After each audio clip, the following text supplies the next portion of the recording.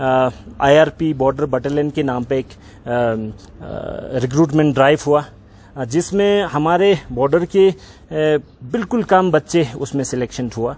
उसमें से देखा जाए तो खाली चार ही सिलेक्ट हुआ लेकिन पूरे चंगतंग एरिया की देखा जाए तो छुशुल कॉन्स्टिट्यूंसी की जो बच्चे जो इसमें शिरकत की उसके उसके बारे में अगर देखा जाए तो एक बच्चे भी इसमें सिलेक्शन नहीं हुआ है। मुझे तो अजीब लगता है जब बॉर्डर में वर लाइक सिचुएशन होता है, उस हमें कुछ क्राइटेरिया नहीं होता है। चाहे बुज़ुर्ग हो, चाहे महिला हो, चाहे कुछ भी हो, सब आने के लिए बोलता है। लेकिन जब रिक्रूटमेंट टाइम पे आते हैं तो क्या बॉर्डर के लिए थोड़ा सा भी रिलैक्सेशन नहीं देना चाहिए था? आज तक नॉर्थ ईस्ट के लिए हो, लद्दाख के लिए हो एज के लिए रिलैक्सेशन होता है। इसी तरह बाकी चीज़ में भी रिलैक्सेशन होना ज़रूरी था, ज़रूरी है।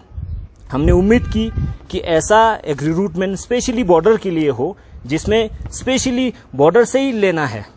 बॉर्डर के जो लोग हैं, जो बॉर्डर के जो स्टूडेंट हैं, उनको रिलैक्सेशन मिलना चाहिए करके मैंने कई दफ़ा बोला। लेकिन आर्मी में भी उन्होंने कंसिडरेशन नहीं दिया। आईटीबीपी में भी नहीं दे रहा है। लेकिन जब पुलिस की बात आता है तो इसमें भी उन्होंने कंसिडरेशन नहीं किया रिलैक्सेशन नहीं दिया।